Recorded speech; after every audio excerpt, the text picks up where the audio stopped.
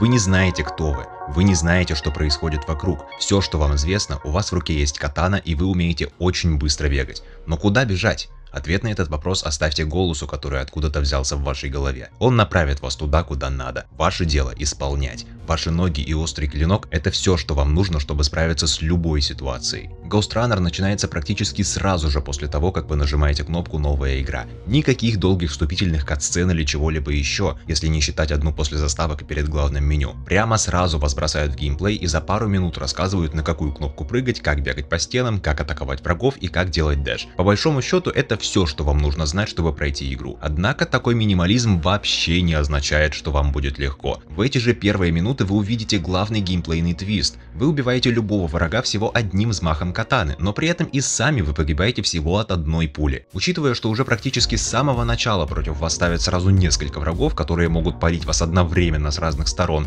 я думаю становится понятно, что умирать здесь придется много. Ведь если вот такое происходит уже в первые минуты, то что же будет дальше? Но это неплохо. Игра целиком и полностью завязана на паркур, что делает ее по сути платформером от первого лица, и чтобы преуспеть, вам нужно уметь... Так какого черта у меня выходят случайные рифмы первые две минуты видео? Быстро ориентироваться в пространстве и на лету соображать, как его использовать. По какой стенке пробежать, куда от нее оттолкнуться, использовать ли тот крюк наверху, чтобы подтянуться к нему и ускориться, или же попытаться пробежать по земле на пролом, помогая себе дэшем из стороны в сторону. Всеми этими вопросами приходится жонглировать ежесекундно и беспрерывно. И поначалу, для людей не привыкших к подобным ситуациям, это с большой вероятностью будет too much, что уже само по себе почти данность, потому что игр про такой быстрый паркур, да еще и со сражениями, какими простыми бы они ни были механически в природе, существует очень немного. И да, мне сначала тоже было сложно. Я часто терялся, я не успевал ориентироваться, я забывал отслеживать врагов, и как результат мой счетчик смертей на уровнях очень редко когда был ниже 40-50, а иногда он доходил и до трехзначных чисел. И по-хорошему, когда где-то за 3 часа игры вы успеваете умереть в прямом смысле полтысячи раз, это не может не расстраивать или хотя бы как-то раздражать. По-хорошему.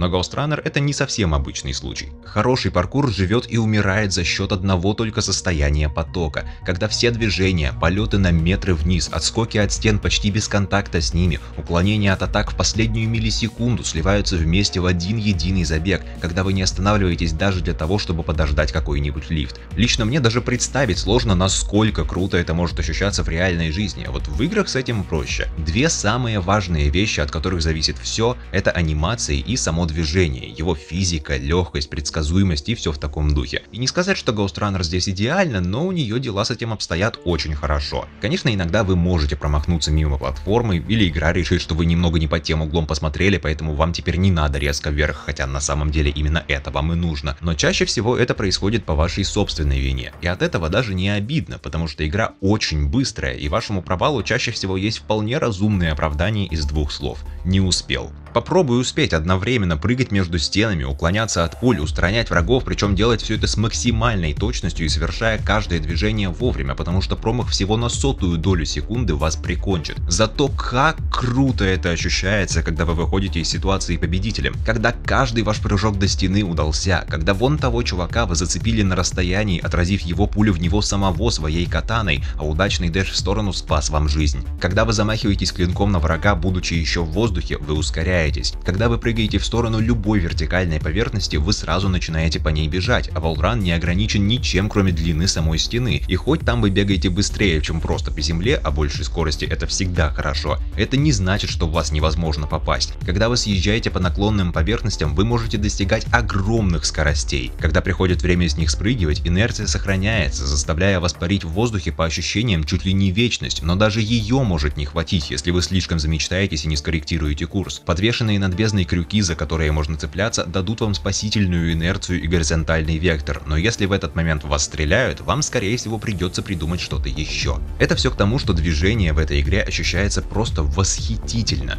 Видно, что она вам слегка помогает, приклеивая к поверхностям, но даже это делается чисто для того, чтобы было проще совмещать паркур с боями. Все остальное вы делаете сами, а игра лишь подчеркивает ваши действия визуально. Чем быстрее вы бежите, тем шире поле зрения. Чем с большей высоты вы приземляетесь, тем сильнее качает камеру при приземлении, потому что перекатов здесь нет, но это и хорошо, учитывая главную особенность боевки. Звук катаны, разрезающий негодяев пополам, служит очень ярким и крайне приятным, сочным подтверждением вашего мини-триумфа.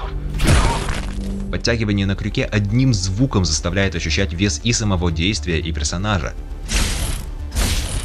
И все это время в уши не перестает литься превосходный электронный саундтрек от Daniel Deluxe, который отлично задает ритм и подчеркивает сеттинг с большим количеством неона своей собственной долей синтвейва. А если вы играете на PlayStation 5, то вас ждет очень хорошая поддержка геймпада DualSense, про которую я в курсе, что уже все всем все уши прожужжали, но что я поделаю, если конкретно в Ghost Runner это настолько усиливает ощущение от движения. Когда вы подтягиваетесь, нажимая на курок, он постепенно становится все туже, чем сильнее вы на него давите. Когда вы катитесь по рельсам, вибрация передает буквально каждую царапинку и неровность в металле, по которому вы скользите. Каждое приземление отдается твердым и плотным ударом, как и успешные попадания катаной. Все это делает и без того отличную механику движения еще лучше. Вы просто не хотите переставать бежать. Не хватает только размытия в движении, даже такой опции здесь нет. И игра почти не ставит перед вами никаких преград, которые бы вас от этого останавливали. Хотя казалось бы, вот я буквально только что говорил, что паркур живет за счет состояние потока, описывал, как игра тщательно его создает, но вместе с этим же было мое заявление о каком-то безумном количестве смертей на каждом уровне.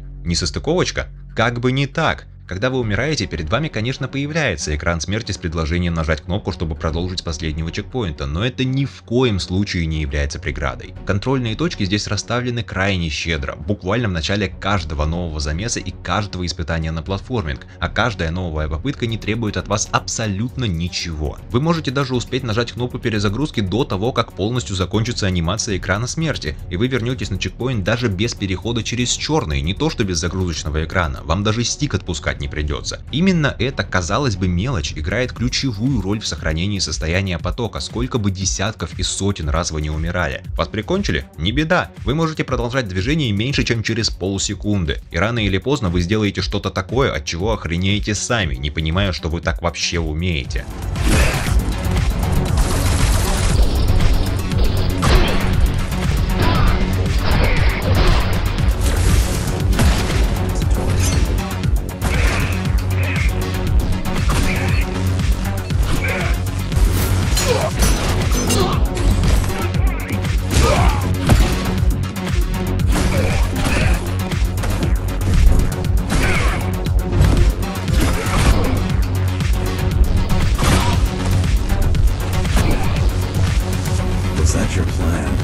Однако не одним движением единым. Круто, что оно есть, но только на нем игру не сделаешь. В большинстве ситуаций игра дает вам свободу выбора в том, как вы подходите к конкретному замесу. Часто у вас есть несколько разных путей, по которым вы можете пойти, каждый раз или пробуя новый подход, используя разные элементы окружения, меняя волран на полеты по крюкам, или пытаясь отшлифовать старый, который вы чувствуете, что хорош, но вот совсем чуть-чуть вам не хватает скорости или ловкости. Одна вещь, в которой эта игра очень хороша, она мастерски заставляет вас думать на ногах. Вы почти никогда не перестаете двигаться, и пока вы бежите, у вас нет времени на размышления о следующем действии. Решение надо принимать прямо сейчас, иначе вас или пристрелят, или вы упадете вниз, или еще что. Даже если сейчас перед вами прямой путь, все равно расслабляться нельзя, потому что какая-нибудь опасность вас все равно поджидает, и с ней надо разобраться, а вы по-прежнему умираете от любого прикосновения. Половина всего веселья это ваши попытки максимально быстро вычислить следующий шаг так, чтобы он вас не убил. На каждое действие у вас есть от силы одна секунда, а часто и того меньше. Спрыгнуть с одной платформы на другую, воспользоваться крюком наверху, чтобы рвануть в другой конец арены, упасть на пол и убрать вон того пулеметчика. Решайте быстрее. Как ни странно, сделать решение вам может помочь Dash. Если будучи в воздухе задержать кнопку, которая ускоряет вас вперед, то вы войдете в замедление и сможете подрулить влево или вправо. И это не только даст вам дополнительное время, но и позволит избежать летящие в вас патроны, а иногда откроет и новые варианты использования окружения. Откроется стенка, которую вам что-то загораживало, было, или вы сможете дотянуться до платформы, которую иначе было бы не достигнуть. В любом случае вы получаете еще пару рельс, чтобы положить их перед собой. И пространства, в которых вы оказываетесь, в большинстве случаев достаточно открытые. В них много свободного места, мало укрытий и при этом огромное количество поверхностей, которые вы можете использовать как свой путь. И их изобилие означает, что менять направление вы можете практически в любой момент и почти в любую сторону. Главное успеть среагировать. А сами столкновения с врагами меняются на протяжении прохождения за счет добавления новых видов Сначала против вас выставляют только обычных болванчиков с пистолетами, каждый из которых делает примерно по одному выстрелу в секунду, но в больших количествах даже они могут быть весьма опасны. Потом появляются чуваки с автоматами, которые стреляют очередями, и с ними уже надо быть гораздо аккуратнее. Для обоих могут появляться генераторы щитов, которые вам нужно уничтожить прежде чем рваться в бой. Чуть позже приходят очень мускулистые ребята, которые любят прыгать прямо на вас, и от них желательно бы отпрыгивать подальше. Целые боевые роботы, которые своими выстрелами плазмы покрывают очень широкую область, и от них обычно очень сложно уклоняться, но вы уж постараетесь. И даже какие-то ниндзя, которые ломают главное правило игры, гласящее, что каждый враг убивается с одного удара. Эти валятся с двух. Технически первым ударом вы останавливаете их атаку и дезориентируете, а уже второй удар смертельный, но тем не менее, взмахов клинком все равно получается два. Из-за этого, как по мне, ниндзя в целом немного ломают игру, потому что это почти единственный ее элемент, который заставляет вас стоять на месте и ждать. Не круто. Конечно, со всем этим зоопарком не всегда получится разбираться одним только острым клинком в руках. Со временем вы будете приобретать дополнительные способности, которые пусть и работают через кулдаун, а он может занимать очень много времени, минуту или даже больше, но они могут очень сильно помочь в экстренных ситуациях. Есть способность, которая позволяет выделить несколько врагов, а потом одновременно их всех пустить на харакири и телепортироваться за них. Крутая вещь, но очень ситуативная и требующая точности. И враги должны стоять плюс-минус в одной линии друг за другом, и расстояние до них должно быть весьма определенное. Зато вторая способность куда более универсальная. Одним взмахом руки она может просто сдуть всех недругов, до которых хватает дальности. Особенно люблю использовать ее против этих ниндзя. Хотя работает и волна, которую вы можете послать вперед, и она ликвидирует всех, кто попадется ей на пути. Ей только прицеливаться нужно чуть лучше. А вот зачем в этой игре нужна четвертая способность, я искренне не понимаю. Она позволяет подчинить одного из врагов себе, и он на время станет вашим союзником, пока его не прикончит кто-нибудь другой. Но учитывая, что каждый враг на экране живет от силы несколько секунд, я не вижу никакого смысла продлять вот таким образом учение ни им, ни себе. Где способности, там и прокачка, и она в Ghost Runner сделана весьма любопытно. Со временем, когда вы получаете новые способности, вам открываются и новые умения, которые могут расширять их возможности. Это может быть увеличение дальности для смертельного дэша, мгновенное восстановление энергии, если вы устраняете нескольких негодяев за одно применение телекинеза, все в таком духе. Однако интересность здесь в том, что выполнено все это дело не в виде обычного дерева умений, а в виде своей отдельной игры в Тетрис. У вас есть поле с ограниченным количеством ячеек, и на нем вам придется располагать те умения, которые вам нужны. Каждая занимает свое количество ячеек и имеет свою форму, так что выбирать надо с умом, чтобы все влезло физически. Причем от количества свободных ячеек зависит и скорость пассивного восстановления энергии. Чем их больше, тем быстрее реген. Весьма забавная штука, и пусть она ограничивает вас в том, насколько много всего вы можете в себя напихать, по итогу это не особо много на что влияет, потому что почти все умения касаются этих дополнительных способностей, пользоваться которыми приходится не так уж и часто. Кстати говоря, а откуда вообще появляются эти способности? Я рад, что вы спросили. По ходу сюжета мы будем иногда натыкаться на терминалы, через которые мы погружаемся в кибербезну, и некоторые из них как раз посвящены обучению новым способностям, которые вам выдают в постоянное пользование после завершения. Сама кибербезна это весьма абстрактное пространство, которое механически призвано разбавить общий темп игры, заставляя вас решать простые головоломки, проходить испытания на платформинг и попутно вываливая на вас какую-то там экспозицию. Никаких схваток здесь нет. Из того, что я видел, мнения людей по поводу кибербезны очень разделились. Многим нравятся те паузы, что она вносит в игру, но при этом многих людей она в какой-то степени раздражает. Я нахожусь в последнем лагере. Сама идея неплохая, с этим никаких проблем нет. Проблема в исполнении. То, что здесь нет столкновений с врагами, ничего страшного, ведь у нас все еще есть паркур, так? А вот и нет, не угадали. В кибербезне мы теряем все наши способности. Ни дэша, ни бега по стенам, ничего этого нет. Мы можем только бежать вперед и делать обычные прыжки. И вот это как раз выбивает из того состояния потока, потому что отваливаются оба основных элемента игры, и вы внезапно начинаете играть нечто совершенно другое, что заставляет вас ждать, ограничивает в движениях и не дает и шагу ступить в сторону. Вот хоть ты тресни, но собери мне 13 вот этих штук на вращающейся платформе, для чего постоянно приходится останавливаться и ждать, пока она не повернется нужной стороной. И воспользоваться окружением, чтобы не ждать, тоже не получится. А ведь головоломки, которые игра перед вами ставит, могли бы быть завязаны на паркур, на ее основной козырь. Я с такой уверенностью это говорю, потому что игра уже делает это вне кибербезны. Мало того, что каждое столкновение с врагами это уже своего рода головоломка, в которой вам надо придумать оптимальный способ разобраться со всеми плохишами за один присест, так и вдали от негодяев Ghost Runner может ставить перед вами такие задачи. Иногда вы будете натыкаться на различные временные пауэрапы, замедление времени, высокий прыжок, тюрикены, подобные вещи, и они могут появляться как в боях, так и отдельно от них. И, например, далеко не единожды игра ставит перед вами цепочку из нескольких панелей, в которые нужно метнуть тюрикены, чтобы, к примеру, открыть дверь. Но при этом каждая панель активна только определенное количество времени, и оно всегда разное, а дверь открыта только тогда, когда активны все панели одновременно. Если деактивируется хотя бы одна, проход снова закрыт. Эти испытания, конечно, не отличаются сложностью, но это все равно неплохие, не боевые элементы, которые по-прежнему задействуют движение, главную сильную сторону игры. Значит, можно и другие подобные вещи внедрить, тем самым сделав кибербезну куда более интересным местом, которое не уничтожает весь ритм игры. Да и визуально привести ее в порядок тоже не помешало бы. Она, конечно, красивая, но из-за огромного количества ровных глянцевых однотонных угловатых поверхностей, частиц и эффектов прозрачности из этих самых частиц на поверхностях, ваш путь не всегда банально нормально читается, что в игре про паркур, опять же, очень нехорошо. Но прежде всего мы опускаемся в кибербезну по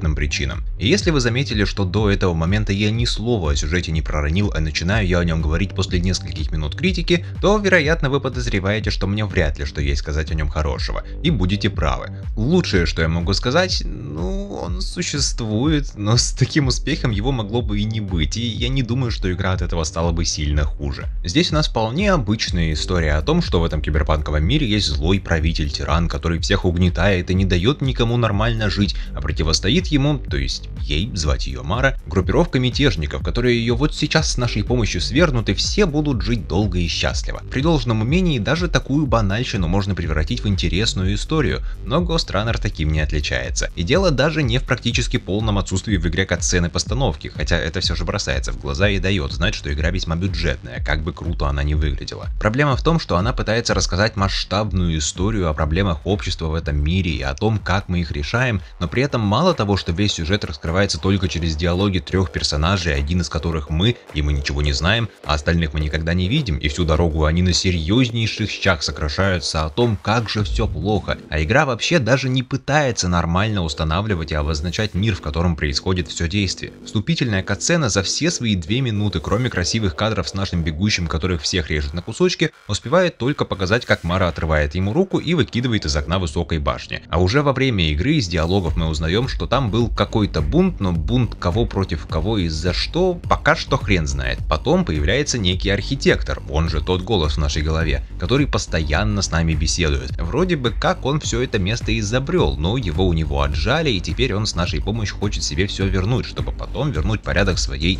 твердой рукой и железной волей, чтобы это не значило. А в какой-то момент в действие вклинивается мятежница по имени Зои, которая помогала восстанавливать Джека, так зовут нашего главного героя, после его падения, и которая теперь тоже ему помогает бороться с нынешним тираном, но уже больше путем выгодным для сопротивления, что не нравится архитектору, и в итоге оба тянут Джека в свою сторону. У меня голова болит. На самом деле все не так сложно. Главное, архитектору нужен Джек, чтобы избавиться от Мары и вернуть власть себе, а Зои нужен Джек, чтобы избавиться от Мары и дать власть людям. Как сказал сам архитектор, и казалось бы, раз у нас есть четко заданный злодей, которому мы все втроем противостоим, то наверняка же у нас, как у игроков, есть и сильная мотивация этого злодея победить, так? Ну, э, нет.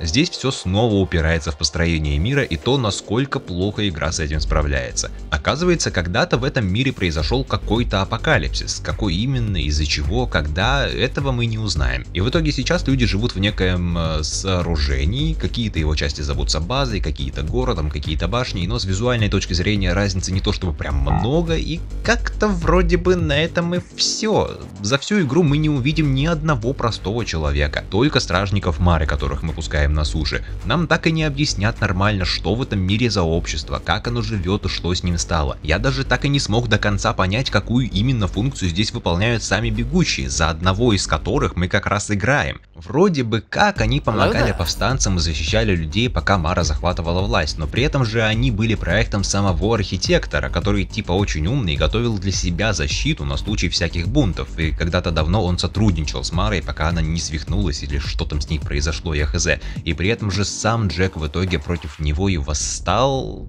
Э, э? Суть в том, что этого мира мы видим слишком мало, в нем объяснено слишком мало, а в том, что объяснено полно несостыковок. Нам все время говорят, что людям здесь живется ой как плохо, их всех угнетают и так далее, но видим ли мы это хоть раз за прохождение? Нет. Нам все время говорят, что Мара это плохо и от нее надо избавиться, но видим ли мы это? За исключением того, что на улицах грязно, в общем-то нет. Сама Мара впервые появляется только в последнем акте, который длится часа полтора от силы из семи, что у меня заняло прохождение. Так что по-настоящему узнавать ее характер, мотивы и все прочее мы начинаем очень поздно и времени на это все равно мало. Хотя нет, времени пожалуй достаточно, только сама игра им распоряжается неэффективно. Этот мир просто не ощущается как живое место, как что-то, что могло бы существовать. Даже как что-то просто логичное, потому что есть моменты, когда игра пытается устанавливать какие-то правила, по которым он должен работать, но потом сама же их ломает. Та же кибербезна, например. Каждый раз, когда мы в нее погружаемся, у нас пропадают абсолютно все наши способности, из чего логично сделать вывод, что пусть это и неприятно в плане геймплея, но это все же особенность того, как работает это пространство. Оно не считывает реальные способности пользователя. Кроме одного раза, когда оно это все же делает. В самом конце, когда мы через эту кибербезну прорываемся к архитектуру, используя весь наш мувсет. И кстати, это в итоге получается одной из самых крутых и адреналиновых платформинговых секций в игре. Прям круто вышло. Почему? А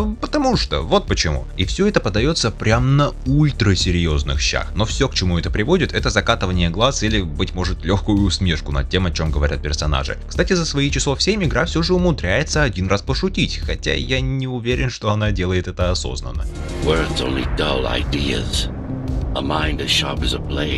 As little to gain from idle chatter. Забавно слышать это от того, кто больше всех здесь разговаривает и кто чаще всего произносит бессмысленные реплики. Как результат, персонажи, конечно, временами дискутируют о том, как сделать Дарма Сити снова великим, но все, на чем это останавливается, красивые, высокопарные и абсолютно ничего не значащие заявления. Архитектор, как вы собираетесь восстановить это общество? Железная воля, твердая рука, одно предназначение. Круто, чё? Повстанцы, как вы планируете сделать жизнь лучше? Власть народу! Шикарный план, надежный как швейцарские часы. С другой стороны, с тем, насколько слабо здесь в целом обозначен мир, большего и не нужно. Билбордов с гранжевой рекламой биомайонеза, что бы это ни было, должно хватить. Вам может показаться, что я как-то уж очень жестко проезжаюсь по сюжету этой игры. И вам, наверное, даже не кажется. Просто если сама игра воспринимает себя настолько серьезно, то и я тоже буду так делать. Хотя никто и не говорил, что сюжет это сильная сторона Ghostrunner, и он ей не является. Не ради него ее стоит проходить. Зато он вносит в игру разнообразие в лице боссов. Их здесь аж целых три, и ввиду особенностей геймплея сражения с каждым из них проходят весьма необычно. В основном они завязаны на тайминге уклонения, и нянчиться с вами тут не будут ни разу. К примеру, первый босс, Том или же Т-073М, с первых же секунд покажет вам, почему свое предназначение, не пускать в город посторонних, он выполняет так успешно. Том это огроменная лазерная установка, которая выпускает из себя во все стороны сотни смертельных лазеров, и ваша задача прорваться сквозь их все и отрубить запустить всю эту штуку. Эти лазеры постоянно быстро двигаются, их очень много, а вам через них нужно платформить, используя все доступные приемы, пока вокруг все мельтешит и дезориентирует вас. Промахнетесь мимо свободного окна хоть на долю секунды, вы труп. И да, пусть эта хрень убила меня больше сотни раз, но благодаря всем тем вещам, что геймплей делает правильно, выискивать правильные тайминги в каждой фазе было весело. Да, оно бесило, но это все равно было круто. Жаль только, что остальные два босса далеко не такие интересные, сложные или даже эффектные стороны. В конце же всей этой истории я остался в некой растерянности. Конечно же заканчивается все хорошо. Мы побеждаем Мару, от архитектора мы тоже избавляемся, он же тоже не совсем хороший чел. И чем дальше, тем подозрительнее он себя вел, раскрывая свою цель в виде полного контроля над всем вокруг. И как бы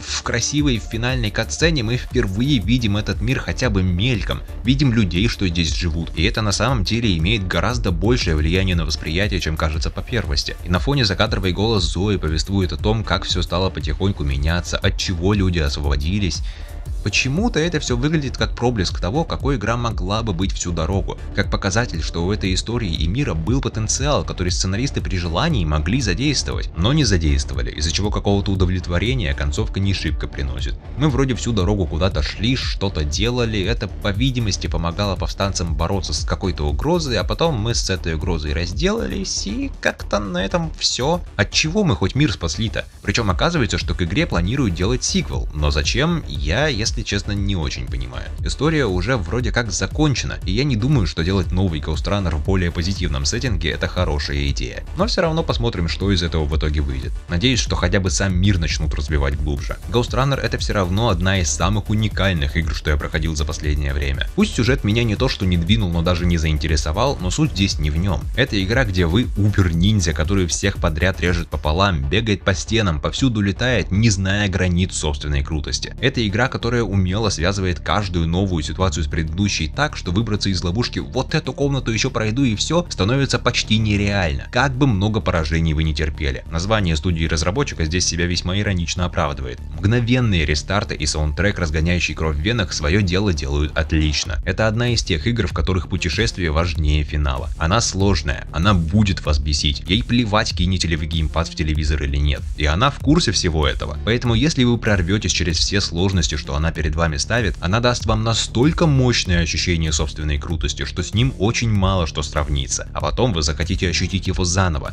И еще раз. И снова. Сейчас еще десяток другой раз умру и все получится. Игру вы за это ненавидите, конечно, но этим она и нравится. Спасибо за просмотр.